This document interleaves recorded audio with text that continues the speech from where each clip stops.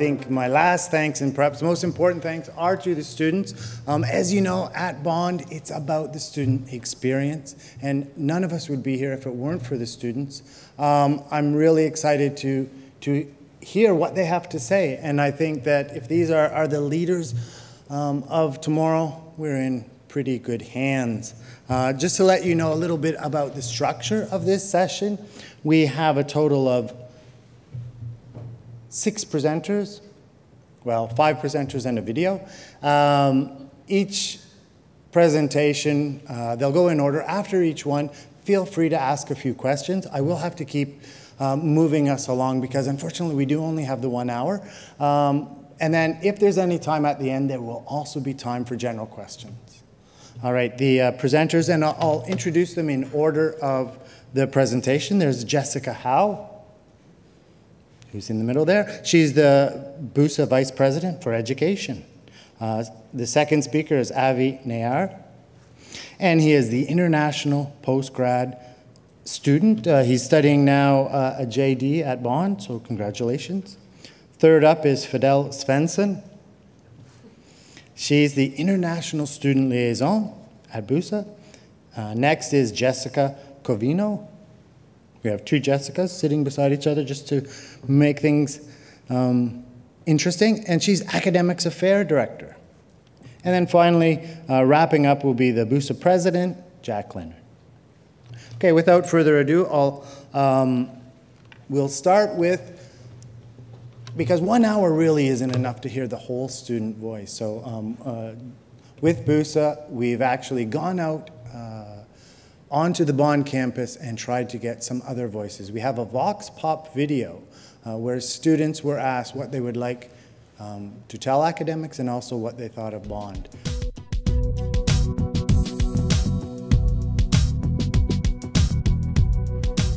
Smaller class sizes is like a big one. Like teachers and like lecturers can focus a bit more on the student. Like they know you personally. Like they know like where you need work on, as opposed to like Griffith, for example. They've got a few hundred kids in each class, and it's just kind of first in, best dressed with your answers. Pretty much all the same thing. I really like how they they know my name. Like um, today, my teacher George, he always calls me Danny, and he says it in his American accent, which I laugh pretty much every time.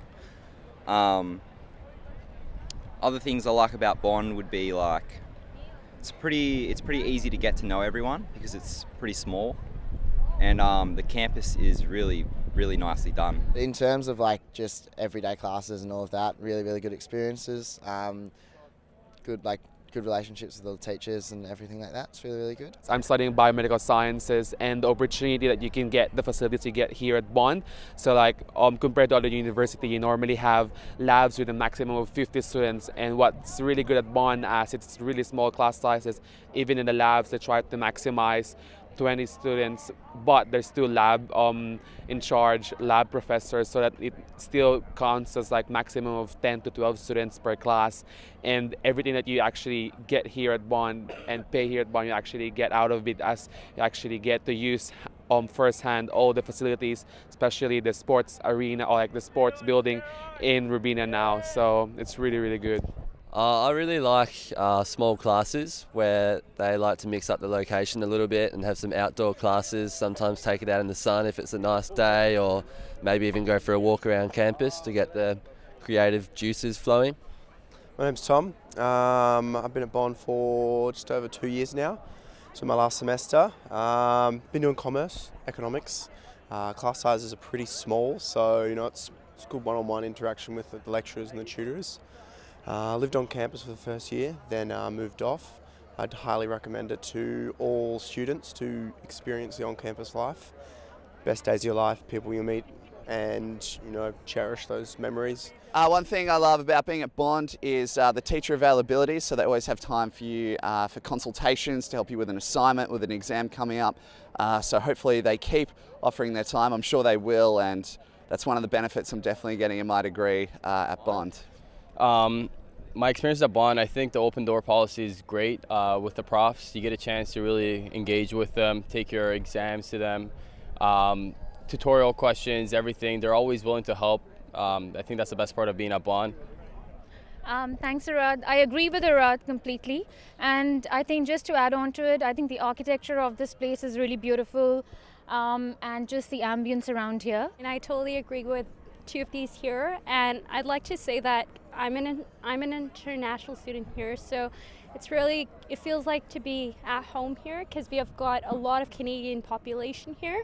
And the Bond CLSA does a really good job. How diverse the student community are. So like approximately probably 30% to 40% are international students or exchange students, which is really good. Yeah, go Bond.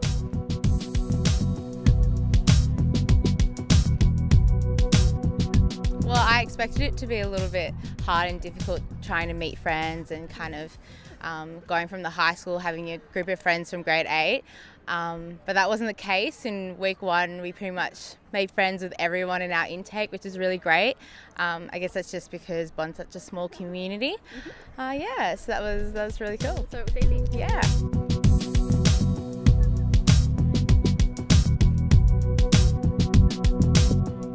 I think they're very ambitious and yeah, it's nice to be here. It's very different to my um, home university. And I like the small classrooms and yeah, it's um, private. Feels private. So um, my lecturer in intercultural communications, um, she's like, gets everybody um, involved into classes, and um, they, they would try to get all the names, and yeah, they just like kind of a family creating over time.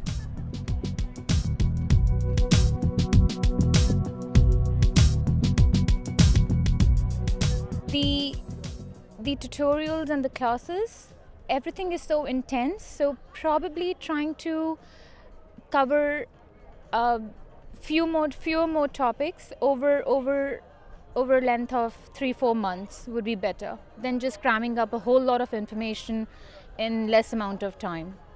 Um, the only thing that probably would might to improve in is more event. Um, there's a lot of events happening here, but trying to settle in more exchange students in and trying to connect them with the local students.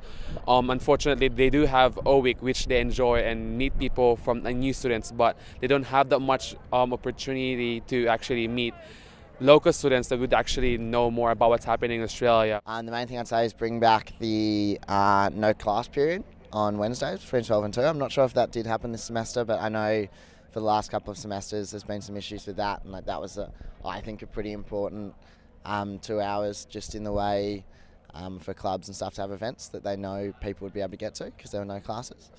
Um, other than that, in terms of like around campus and stuff, um, I know there's been some problems with the Wi-Fi recently. Um, I haven't necessarily personally experienced them, but um, a lot of people have commented to me. And also, I live on campus, and the hot water goes off pretty much every week. That's a little small thing. Um, yeah, I don't really have much, much else constructive criticism. Um, it's great.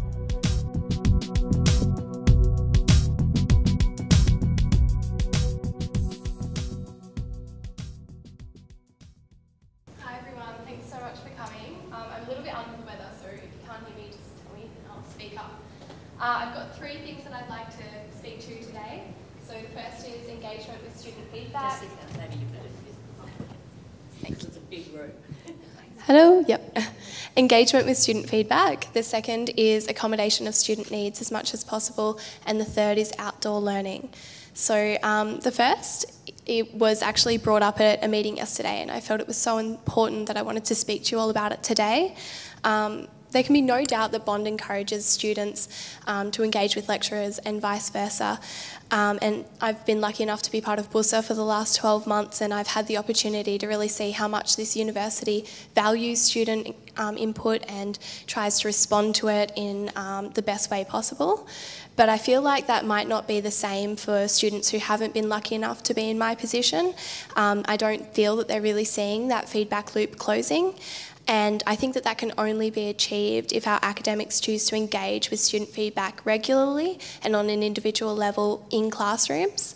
Taking the time to explain the relevance of a piece of assessment to students so that they understand how that links with their assurance of learning outcomes, how that links with what they're going to be going on to do in their careers, I think is really important because I believe that even the most unengaged students will then have a greater appreciation for why they're being asked to do this piece of assessment. I know university students are all adults and you'd hope that we would not think that you're asking us to do irrelevant pieces of, of assessment, but unfortunately, um, some students can't always see the relevance, so just explaining that might help close the feedback loop there. Going beyond assessment pieces, I think it's important to engage in feedback that you might receive as lecturers or tutors um, in the classroom, either through the class representative system or elsewise. Um, it always goes towards um, taking the time to say, look, I've heard this and I'm going to respond to it in X way, and I think that this will help for Z reasons. I recognise that some feedback might be negative or it might be a little bit irrelevant in your opinion or it might not even be able to be applied that specific semester, but I think it's important that lecturers and tutors still take the time to engage with that feedback, recognise that it is there has been given by the students and say, yeah, okay, you said constitutional law is really hard. Have you read the textbook? Have you read the Constitution? If you have, have you come to my consultation hours? Okay, if you've done all of that and you're still finding it hard, perhaps you need to invest in a tutor. But if they haven't done that, it's nice to remind the students of that support that they do have available at this university um, and even encourage them to seek that support if they need it. I think that if we can all work to achieve this, we'll have a much more informed university in general, and we'll also be one step closer to closing the feedback loop, which I know is something that the Vice Chancellor is particularly concerned with and really wants to achieve. So I think that would be great. Second talking point, accommodating student needs as much as possible, is actually very close to my heart. Um, with many students at Bond striving to bring their ambition to life by engaging in much more than just their academic studies, I think it's particularly important that we are flexible with teaching arrangements, and I think that to some extent that'll always be a little bit necessary. Um, I'm not suggesting that teachers need to be accommodating of every change or every rescheduling that a, that a student needs, but it is really lovely to see teachers who are more than willing to let a student swap tutorials, you know, twice throughout semester just because they have a meeting that conflicts, or if they've missed a seminar, you know, your consultation hours are there and they come and they sit down for those two hours and they say, okay, what did you go over in that seminar? Can I catch up? Okay, I feel like I, I know what you talked about now. Um, even if moving tutorials isn't an option or you know a catch up isn't an option, just allowing students have the opportunity to submit the work they did do for that tutorial and go through it and provide written feedback on that, as you would with an exam answer, for example, is inherently beneficial to the student. Um, I've always deeply appreciated students who, uh, sorry, teachers who have taken the time to read through my answers and provide feedback, because then I don't feel penalised for going above and beyond my academic studies to get the most out of my experience at Bond. Um, so, you know, for anyone who's done that for me, thank you so much. Um, accommodating student needs goes beyond this though. It also goes to exam week. Um, it's so lovely to be able to step into a lecturer's office and say, look, I've done this exam question, and then just say, you know, great, awesome, it's six pages long, but why don't we try and go through as much as we can? And just to have that positive reinforcement of, yeah, you've tried, is fantastic. Um, I understand that it's hard to always find the time to be available or you know, virtually on call all the time during week 13. Um, but I know that the lecturers who have, you know, taken the time out of their day to be available as much as they can are always appreciated. I think lecturers that aren't um, always available, I know lots of other lecturers have lots of other commitments as well. Um, I've always appreciated lecturers who have taken the time to prepare answers to their past exams, which they can give out. Um, normally, lecturers are a little bit reluctant to do this because they believe that students will pass them on to friends and things like that. And I do understand that perspective. But if I've taken the time to scan you my exam answer and you've looked through it, provided feedback, and said, here's what I expect for a HD answer, it's just really invaluable to me because I can look at that and say, this is what the person who is marking my exam is expecting. This is the standard I can live up to and or try to at least and then I can go through. So for example last semester I had a teacher who was willing to do that and I would go through the exam again myself and then say okay did I get all of the issues there? And look at the exam answer that he'd written and say yep yep yep okay missed that one again. Really need to work on identifying you know um, legal professional privilege. So I'll go back and I'll redo this again in my next exam answer. So I think that that was really beneficial um, and in my opinion, the best lecturers in exam week are those who don't necessarily require students to come in for face-to-face feedback all the time. Um, I think that it's a tribute to, to lecturers who recognise that students are much more on the go these days. Some students choose to go home, which is in different states during study week just because it's easier for them to study. And I think that it's very difficult when, when lecturers are only happy to provide um, feedback on exam answers in person.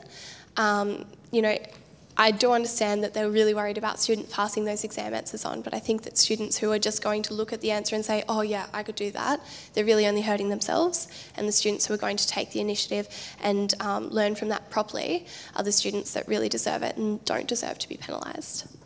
Um, finally, my last point is outdoor learning.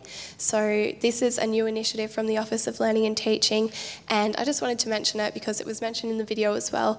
And many students, more than I thought would, I, I confess, um, responded really positively to it. And I think that Bond has a beautiful campus, and I know that we're investing in a lot of new infrastructure for outdoor learning.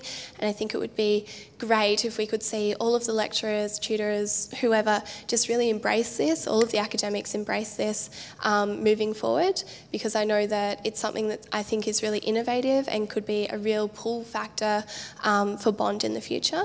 So, um, yeah, I just think it would be great to see. So, thank you all so much. Thank you. Thank you, Jessica. Uh, we have time for one question for Jessica. I'll also remind people that at the end of the session, there are uh, any time left we'll be open for questions. Any questions? Okay. Next up, uh, Avi. Thank you. Um, that was great, Jessica. I'm not prepared whatsoever. I guess you can call me unlike Jessica. I'm a typical student. Um, again, I'm in my fourth semester, uh, the JD program, studying law why I chose Bond. Um, it's a two-year program as opposed to three back home. Um, like in the video, this architecture, just everything here, um, it's amazing. I mean, compared to my undergrad or where I went to school back home, this place is a palace, so I can't complain. Um, again, over here, there are a lot of Canadians, so it's like a home away from home kind of thing. Um, I don't feel like I've even left Canada, to be honest. Um, Diversity, again, is awesome. I mean, people here are from all over the map, from Germany, China, Sri Lanka, um, you name it, Canada, America. So that's positive. I've made a lot of new Aussie friends. Uh, Jessica, you are my friend, right? Yeah. So, and um, the transition back home, I don't think it's going to be a problem. Uh, to be completely honest, I live in Vancouver, BC, and I do know a lot of Bond alumni. In fact, before I even chose to come to Bond, I have talked and spoke with a lot of Bond alumni, and they all have their own respective uh, practices in law. In fact, they're doing better than the Canadians back home who went to a Canadian law school. Uh, yeah, they don't like us very much. um, let's see, some improvements. Um, in class, we have a mix of undergrad and postgrad students, but I swear it's kind of like a high school or like an elementary dance where you have girls on one side and boys on the other side. But in this case, it's just the undergrads on one side, and then you got the postgrads on the other. Um, one suggestion that I have is perhaps in the tutorials, um, just mix it up. Just have a mix of undergrad and postgrad students. Um, we're all going to be writing our own different exams, so it's not a big deal, I think. Um, another improvement I think um, that can possibly be made is that uh, professors over here have a lot of real life experience. And I think that's very important to share to the students. I'll give you a great example. Uh, my father's a developer back home in Vancouver. So after taking land, I thought I knew everything about caveats and mortgages and stuff like that. So I'm like, hey, Dad, I mean, um, that guy is totally screwing you over. And um, uh, you can totally file a caveat or you can do whatever you want, Dad. It's no problem. You have an equitable interest, whatever it is. My dad's like, it's not that easy. I'm like, what do you mean it's not that easy? I just learned about it. And he goes like, trust me, what you learn in school is, does not really happen in real life. So uh, I tagged along with my dad to his lawyer, and it's true. It's not what you do in real life. It's, it's a bit different. I'm sure professors all know this. but it's uh, good to mention right off the bat so we're not surprised when we enter the real world what's going to happen. Um, but otherwise, um, like I said, uh, extracurricular activities, um, awesome, basketball, badminton, beach volleyball. Um, yeah, like I said, I live in Vancouver, so um, Vancouver for a reason because um, you can't do anything. It's, it's just wet. Um, so yeah, I was just here to answer questions, to be honest. So if you guys have any questions, I'm more than uh, uh, willing to answer them. Thanks. All right, thank you. Are there any questions at this point? And feel free to shout them out. Yeah, don't be shy. I have a question. Um, and anyone can answer this. What characteristics would you list under an amazing teacher? And then what characteristics would you uh, list under a teacher who you would rather not have? And why? Well, personally, uh, to have a passionate teacher is my number one thing. If you can see that your professor is, you know, vibrant and just really enjoys teaching and enjoys the subject, like, I don't know if you know this, but it, you can really, really tell if you're sitting there and like listening every week for, was it 14, 12 weeks? You can really tell what teachers want to be there and who's only there to collect the paycheck. Okay. But in a nice way. Any other ideas? Passion is really important. I, I suppose uh, my word I would say is friendly. It sort of sounds a bit cliche, but it just makes the classroom environment so much more engaging. I think we saw it in the video earlier when Danny made a comment about being called Danny in his classroom. I think you don't have to be best friends with your students, but like being someone beyond being just there to convey information to them, I think is very important for people engaging with the subject actually enjoying the subject. Okay, great. I think um, communicating the, the parts the parts of the subject that you're most knowledgeable on. So I'm going to like single someone out. I had David Field for evidence last semester and I absolutely enjoyed my entire time with him. He's got this great sense of dry humour and he's, he's not afraid to kind of display that in lectures, which made that entertaining. Um, even if not the whole class thought his jokes were funny. Um, he thought they were, so that's okay. And um, and he's just really responsive, so more than happy to respond to emails, you know. Um, I remember being really flustered before one tutorial and just emailing saying, David, I don't understand this and it's really bothering me. And he just said, Jessica, why don't you come to the tutorial and see what you've actually got wrong first and then I'll discuss it with you. So just kind of keeping a cool head and understanding that sometimes students do get flustered and we don't have, you know, all of these life perspective and our tutorials are really, really important to us and stuff like that. Um, and just kind of keeping it real, that's great. Thank you. Um, any ideas or views on the other side? Because uh, there are always pros and cons. Um, I think it's great to see lecture, lecturers who do more than read off the lecture slides. Oh, yeah. Um, going into a little bit more depth in the lecture slides is, is great to see. Um, I've had a couple of lecturers who just come in, read the lecture slides, go home, and it's not engaging, and I could just sit at home and read the lecture slides myself. And I think um, Bond wants better, and Bond students want, want more.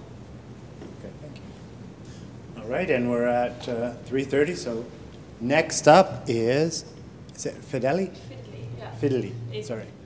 It's fine. Yeah, most people can't pronounce my name even in Sweden, so it's fine. Um, yeah, I'm Fidley and I'm from Sweden and also the international liaison of BUSA, as mentioned before. Uh, I actually just finished my uh, business degree and I majored in marketing communication and loved every second of it. Well, almost every second. Um, and the reason why I chose to come to Australia and travel for 28 hours um, was well, because first of all, it's Australia. It's it's pretty cool here. Um, also, the fact that you could do your degree uh, in two years, uh, do your undergrad in two years. Like, I I researched quite a bit of universities before I chose Bond, and no other university that, that I came across offered a two-year degree with that quality which I think it's amazing. And I do know a lot of my international friends chose Bond for the same reason that it's you can do it fast track. Like you invest so much in it as an international student, and to commit for four years or three years, um, it is a big commitment to come for two years, but it doesn't feel as rough. Well, now I want to stay, so I'm gonna stay longer anyways. Um, but yeah, that was a big reason for me. Uh, and also, um, the agents that Bond has around the world are amazing at their job. Um, just before I got yeah, no, because uh, I met with an agent in Malmö in Sweden and didn't know what Bond was. Didn't never heard of it. Still thought it was you know James Bond. Um, and anyways, so this agent, she's like, oh, you know, like you seem like an ambitious person, like you are going, you want to travel. Have a look at Bond, and obviously fell in love straight away and left two months later. Um, so yeah, that's Bond. Why Bond? Uh, and then when I got here, um, obviously, as most people, I enjoy the small classes. And again, from an international perspective, it's really, really good to have that. And it becomes such a security. I mean, especially your first semester, you get here and you talk like this because you have a really broken English.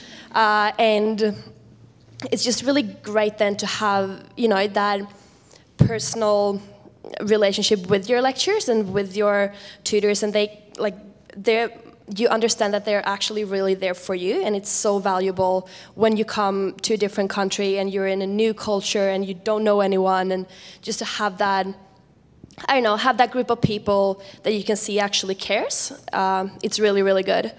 And then mentioned before passionate teachers just the amount of passion it's great.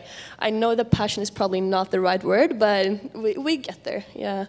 Um, open door policy I touched on it before, and it's, it's again really, really good.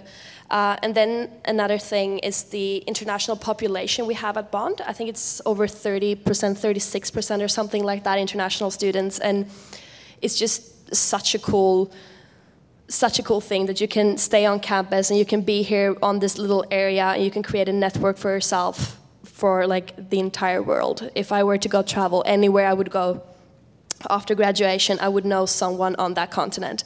And it's a pretty cool, unique, you know, opportunity that you get from Bond that you don't really get anywhere else. Um, and oh yeah, I forgot to say this before, but as well as being international, I'm also dyslexic, so I just have everything going for me. Um, and uh, it was actually student learning support here at Bond that picked up on it. Like obviously, I knew that yeah, reading is not great and my spelling is not always you know, on point. Uh, but it was student learning support that picked up on it, and you know, they were more like, you know, Fiddly, like maybe you want to go and check it out, like just see what it is. Uh, so they sent me to the um, psychology. Uh, here at Bond. Uh, they did some tests and it turned out I was dyslexic. At 20 years old, nobody had picked up on this until I got to Bond. That's pretty well done, Bond. Um, and leading into this, also the disability, disability office, such great support from them, and um, especially around exam times and stuff like that, they always make sure to prepare you beforehand. Uh, and they, I know that they also send out uh, emails to my lecturers that I have, um, so they know that you know you have a student that a little bit special in your class. Uh, and the teacher like some of my lecturers actually approach me when they get this email and they're like sophie lee just to let you know like if you need anything else or if you know if you're struggling with something please just come to me. And um, as as a dyslexic that is really really valuable just to know that you don't have to come to them and be like this is i'm really really struggling but it's actually them coming to you so if you ever have a student with dyslexia, just side note. Um, and um, yeah, and then going back on a little bit of construct, constructive criticism, uh, group work. Yeah, full stop. No, uh, I've had 24 classes at Bond, and I've had 48, 48 group works. That's two group works per class. Not really, but it's a lot, a lot of group work, and I do see why you need to have group work, and I, I can see that it's important that you learn to collaborate with other people, and you need to learn the team dynamics and all of this, and that part is great, but you you're always gonna end up in groups where either you're the one that has to do it all or you have someone that doesn't do anything or you occasionally you get those groups where you get that one person that doesn't want to collaborate with anyone and just does the whole thing themselves. Uh, or you hand something in and they changed it all and then you get graded on something that you actually did not even see. Um, it's i don't know i get that you need to do need to learn to work with others be prepared for the real world and all of this but when you pay that much money and you get graded on something that someone else did, uh, or you get graded on you you do something for someone else. So they get a great grade but they did actually not do anything. It's not it's not a great feeling. And it usually also takes a lot more time when you have to do when you have to do group work rather than if you just did it yourself. And it, i don't know. I'm sure you've all heard this a million times before but it's yeah, group work could be less of it.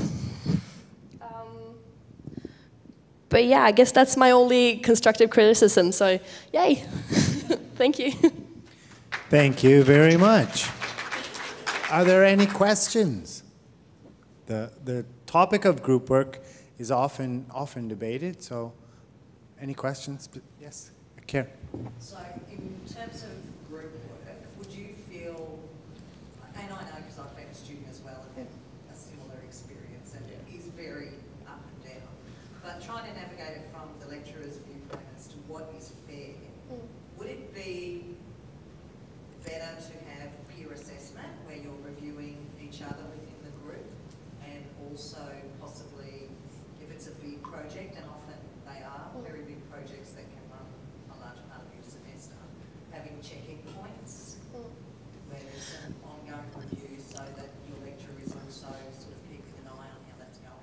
Yeah, absolutely. I think that if you're doing peer review, you definitely need to do the checkpoint as well, because you will get, you know, you meet some, you get into a group with someone, and then you get in a fight, and it's not a fair peer review. Uh, well, I guess that is just a little thing, but I think that it definitely helps with peer reviews. I think it's a necessity. I think you definitely need to have peer reviews if you're doing group work. Um, and I think that checkpoints is another good idea, but just to, I don't know, because since it's so big, the group works are usually so big, and we all know that it's easy for students to leave it till the night before. It's, it's a good thing to have checkpoints, I guess. If I can just add to that as well, I think checkpoints are particularly important to catch those people who do try to ride on other people's coattails, and unfortunately they do exist everywhere. Um, because you have those people who you say, oh, okay, I've delegated this to you. How's it going, Joe? Oh, it's going great, Jess. I've, I've done all of this. That sounds fantastic. Um, and so you've been checking in with them and they've been saying that they've been doing this work, but you don't actually get that work and when, until 3, 3 a.m. the night before, and when you do get it, it's nothing like anything they describe. So I think that the check-in points are, are like definitely a good idea, yeah. Mm, absolutely. And yeah, I just have one thing to add on that as well. I think the preemptive nature of it is a good idea because there's a lot of students that maybe they are contributing to their group, but they're still one of the quieter members of the group, and they want to say something about a person that's being quite overbearing, um, and perhaps not doing work, but saying they're doing work, or they're sort of stepping on everyone else's toes, but they don't have the confidence go forward to you to actually tell you that. Um, obviously there's students at the other end that are very quickly going to tell you what their problems are within the group, but it gives a person an opportunity to be quiet and to actually have a forum where they're forced to actually share what their views are on the group. Okay, great. Thanks for the ideas. Any other comments before we move on? We're right on time, so that's good to see. Uh, Jessica.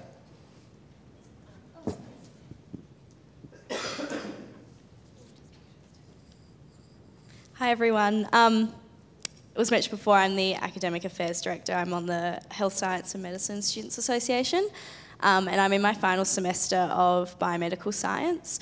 Um, I started at Bond in semester 132 and I moved from Adelaide and found the transition a lot easier than expected. Um, I think it was to do with the community like feel. It was it was easy to make friends, and especially um, starting my degree on campus um, made such a big difference because I could meet new people so easily, and um, I was able to make friends in my corridor. Um, I also think the on-campus living it really encourages you to get involved in student life. Um, I definitely believe that it's a big part of what makes um, Bond and the people you're surrounded by feel like a tight knit community.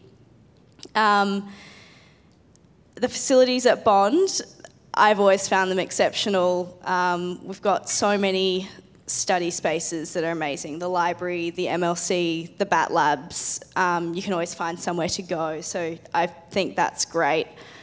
Um, adding on with that is the sporting facilities that we have available for us. Um, someone like myself, I love playing sport and I enjoy going to the gym, so it's a good release um, while you're studying. Um, so personally, studying biomedical science, I spend most of my time in the HSM faculty building, um, and I think that it's it's great that we have all of our classes in one building. Um, it allows us to meet everyone in our cohort. Um, more so, we meet people in other programs, so we can speak to people from sport and exercise. We can speak to people that are studying um, doing their research or studying medicine.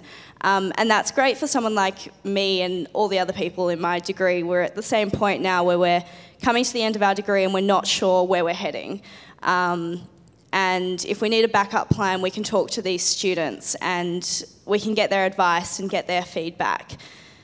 Um, the lab facilities are amazing anatomy labs, the physiology labs. Um, we also run PBLs, which are problem problem-based learning in our tutorials and it's a really great practical way of learning. So we'll get a case, and um, so someone has diabetes, but you're not told. You just get their sy- symptoms, um, and you work through that. And I think that's a really great way of learning. Um, another thing that being in that building during breaks, we can study together, and we have our own computer lab. So that's a really good advantage for us. Um, studying at Bond in general, uh, in regards to being different from other schools, obviously it's been said many times, the small class sizes. Um, for us, we have lecturers for the same lecturers for multiple subjects. Um, so now in my last semester, I know all of my lecturers, I know all of my tutors, and it's really great. Um, they know my learning style, they know how I am as a student, how other students um, like to learn. Um, yeah, the personal relationship is, is really beneficial. Uh, their open door policy, it's, it's great to be able to have a problem and send a teacher an email and you get them replying to say, oh, th these are my free times, come in, we'll talk through it. And that's happened to me many times. And it is such a big help to be able to go and speak to these, um, these lecturers and get help from them. Um, the reason I decided to study at Bond, uh, the academic opportunity. Um, it's diverse. We have a unique community, which I think is amazing. Um, another reason is that studying biomedical science at Bond it's, it allows us a number of pathways at the end. Um, we're not stuck with one thing. So I would like to study medicine. It's great because Bond actually offer people who have finished their biomedical science degree, they offer us um, to apply for second year medicine at Bond. So we skip first year because we've learnt, we've spent two years in biomed, um, and we can go straight into second year. Um, which I not that I know, I don't think any other unis give their students that opportunity that I know of. Um, as well, I can, as a backup, I can get into research and I do my honours here, so that's another pathway that I can undertake. Um, in terms of workload, um, we do get a heavy workload, but in saying that, the lecturers are always there to help. So it's it is tough, but it's we're not left in the dark. And for example, Um, I have friends that study at the University of Adelaide, and they will be six weeks into their semester and have no idea what they're doing. Um, they won't get guidelines on assi- assignments and um, on their content, what they're studying, but we have help in that area. We can come and see you. Um, so thank you. Uh, I also think that um, constructive feedback that you give is really, really helpful for us. Um, yeah, sorry, that was my only point. Um, extracurricular activities at Bond are also a really good opportunity to get involved. Um, the societies and clubs are offered, I think there are over 100 of them, and they can suit any type of person. They're catered for every individual. Um, for example, I got involved with the Red Cross Society uh, last year and went to the Angels Kitchen, and that was a great opportunity. I, I, met other students from other degrees, which I don't get to do a lot of um, because we are in our own little faculty. So that was that's a really nice way to meet people. Um, we also have the opportunity to get onto our FSA, our Faculty Student Association. That's been a really great experience. Um, it's taught me leadership skills. It's um, taught me how to interact with people and work well with people, um, how to resolve conflicts. So that's been really helpful. Um, one constructive criticism that I would have, um, it's more so based the uh, HSM faculty, is that we don't really have exchanges promoted to us. Um, I'm not sure if it's because it's harder for us to go on exchange, but um, I would have liked to go on exchange, but I wasn't sure that that option was available for me. So um, I think that's one thing that students would be interested in doing is an exchange, um, whether they're studying anything in the health science faculty. I think that would be a really good opportunity to have during your university life. Um, and lastly, the teachers here, the academics, you're all amazing help. You, um, you always go out of your way to help us, and um, the consultation hours are really helpful. Um, not only do you help us with our subject work, um, but you also help us with giving life advice. So I've been going to see my lecturers about what I'm doing next year. Um, for example, one of my lecturers walked past me the other day in the hall and said, What are you doing next year? And I just looked at him and said, I have no idea yet. And he said, Okay, we need to have a chat. So it's, that is really great to have that relationship with your lecturers. Um, yeah, that's it from me. Thank you for listening. Thank you, Jessica. Are there any questions at this point for Jessica? Yeah, I have a, a question. You covered quite a bit of ground. No, I can. Um, but several people have mentioned, and in the video, this idea of small class size, instructors know their students, and so forth. And I know in our department, we kind of broke from the tradition of having a lecture followed by tutorials. So a big class, 120 people by a whole series of tutorials, maybe 15 people. And we went to a seminar format. So all of our classes, you know, could be around 40 people. How do you feel about that change? Does that still, is that within your parameters of small class? I mean, we still take it upon ourselves to try to learn the student's name. But 40 is not 15, but it's less than 120. That is true. Um, I have had a few classes where there are up to 40 students in my lecture. Um, it's, I would still call that a small class size. Um, from what I know from other unis, you have classes that are almost 200 people in them. So, um, and I think that the lecturers, they, they go out of their way to um, know every individual. So I'm, yeah, I don't have a problem with, I think a class of 40 is still a good size. I think as well as it depends on the nature of the subject. Oh, okay. Yeah, depends on the uh, nature of the subject, I reckon. Um, I don't know if it's a law subject, maybe. I've had one law subject, business law. Uh, then it definitely requires the tutorial, and you know when you need to sit and interact. And I've had a couple of um, advertising classes where um, it's also super interactive and the tutorial is more of a conversation rather than the lecturer talking to you or the teacher tutor talking to you. So and for me that was i valued that a lot. And that those three classes that had that structure uh, have been my three favorite ones just because it was more of a conversation and i guess that's the way i learn. Uh, so yeah depends i reckon Okay, great, thank you.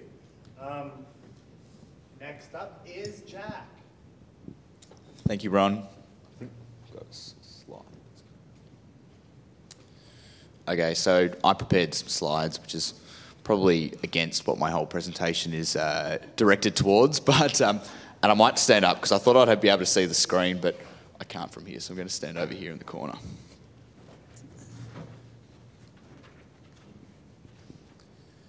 So I suppose a little bit about me, which gives a background to why I chose to talk on this particular topic.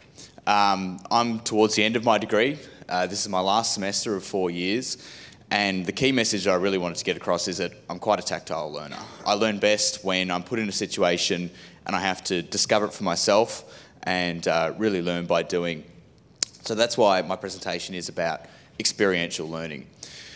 Um, my definition of this, which is may not be consistent with what the OLT office uh, would define it as, this is my lay term, but basically it's teaching in any situation where I'm doing. So for me, it might not necessarily be um, a hands-on activity where you're uh, actually doing a negotiation or you're doing a moot or something like that. It might be something as simple as trying to find the answer for myself. So where I'm doing my own independent research to try and um, uncover information, for me that sort of fits into this experiential category. Um, what I'm going to do with my presentation is basically work through three instances in my degree where I've had this hands-on experience and then analyse what elements coming out of that really assisted me to learn the content for that subject. So I'm going to have a, uh, a look at land law from the um, laws program, also an elective I took in the laws program and then a, a business subject. So for me, in my experience with Bond, I suppose uh, the gold standard in doing what you're actually learning is the Bond's Law Skills Program. Um, I know there was an earlier session on it. I'm not sure uh, how familiar academics from other faculties are with what the program involves, but basically every core law subject has a skill attached to it. Um, and that varies from subject to subject, and some of them are more closely connected with the content than others, but it means that by the end of the degree, we've done pretty much everything that you would have the opportunity to do in practice. It involves simulated courtroom activities, negotiations, client interviews, as well as drafting. And to focus down on one of those particular uh, instances, I took land law uh, a year ago now, so this semester back in 2014. And in that particular um, subject, what you have to do is negotiate over a lease. It's a three-party negotiation, so a bit more complex um, than the previous time you do a negotiation in the program. But I think one of the elements that was best in the delivery pre doing the negotiation uh, was the way that the instructor taught everybody to negotiate in the first place. And so each of the skills have a skills lecture on Friday whereby you learn what you have to do before you actually have to put it in practice. Um, in this particular uh, instance, the lecturer gets six senior students or um, students that have been in a course before and actually has them do a live demonstration of a negotiation before you then go to simulate the negotiation yourself in a week's time for assessment. Um, and I think whilst that's not necessarily experiential learning, it does give the students in the room who are learning to negotiate the opportunity to as close as they can be a part of that negotiation before they've actually had an opportunity to develop the skills to do it themselves. And so the instructor will give um, the students in the room the opportunity to sort of pause the negotiation and comment um, on something that one of the senior students has done in the demonstration. And so it also gives them the opportunity to manipulate how that negotiation is working. And so the instructor might say um, that the students need to do a um, highly positional based negotiation whereby they're not really focusing on the interests in the parties. And so the students learning uh, in the, the, the, skills lecture actually have the opportunity to see before they do the uh, experience themselves how the dynamics can change. And I think um, to comment on this particular element of the skills program, I don't think it makes a difference whether the experience is assessable or not assessable. Out of the three um, examples that I'm going to talk about, two are very assessment focused and that um, does put a different slant on it, I suppose, for some students, but then also experiential learning outside of the assessable space is also a, a vital tool in the classroom. The next one I wanted to talk about was my experience in international commercial arbitration. Now, this was um, very different to a lot of other circumstances um, and subjects I've been involved in because it wasn't intensive. Um, it was a visiting professor uh, who delivered the content over two weekend series of uh, lectures. And so, in the first uh, week six, we had three days worth of content. So that was your traditional uh, lecture scenario. There was only seven students in the course, um, but it was delivered like a lecture. We went through slides, we went through a packet of information, and basically learned all the background knowledge we needed to know for uh, using in an international commercial arbitration.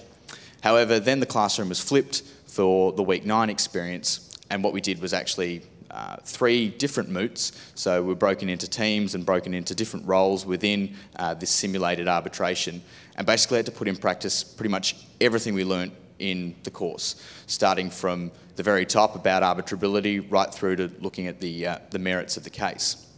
But what was particularly interesting about this uh, situation is that the students actually filled all the roles within the arbitration. So some students were actually judges on the bench and other students were counsel. And what the lecturer would do would base, we had to um, preemptively hand in submissions so that we'd, we'd, done the research and we knew what we were talking about. We weren't just dropped into the scenario. But um, basically what would happen is the lecturer would walk around and if you'd missed something in your submission or if the judge had failed to ask a question to counsel, then he'd just jump in and be the ghost counsel or the ghost judge and basically ask that question to himself. And sometimes it became him having a discussion with himself from the bench to the mooters, um, whereby he was answering and asking his own questions. But because we were in that unique environment whereby we were actually emulating a moot, it just felt different and it felt like you were um, engaging a lot more with the content that he was delivering, even though for some of it, it really was almost the same as a lecture.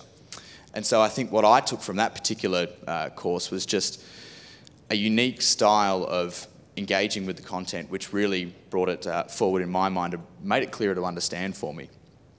The final one that I want to talk about is when it's a non-assessable experiential uh, learning process. And this is a subject I'm currently taking, negotiation, uh, in the business school.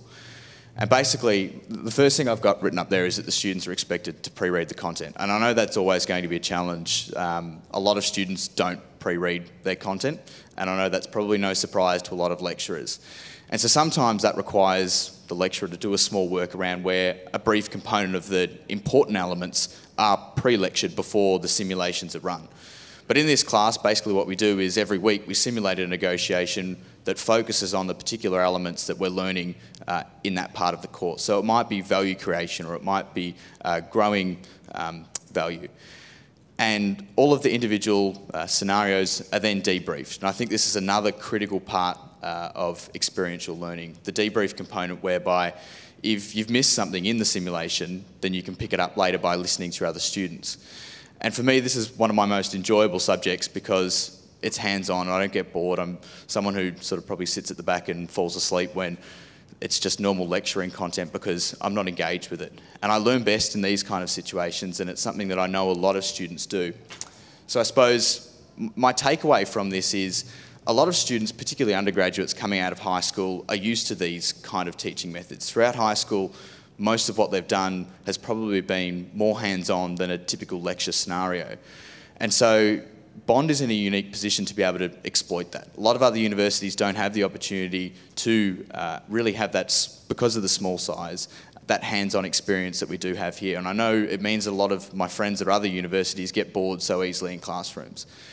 Um, obviously, I'm speaking only from my experience. I know there's a lot of it within the medicine cohort, that hands-on approach. But I think it's something that we need to not lose sight of and really um, continue to build upon.